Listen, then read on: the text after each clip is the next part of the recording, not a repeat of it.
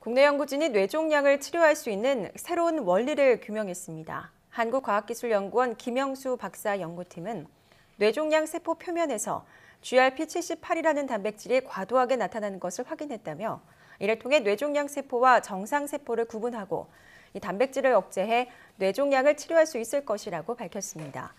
연구팀은 특히 이 단백질이 변이가 일어나지 않아 이를 억제하는 치료제를 만들어 사용하더라도 내성이 생기지 않을 것으로 기대했습니다.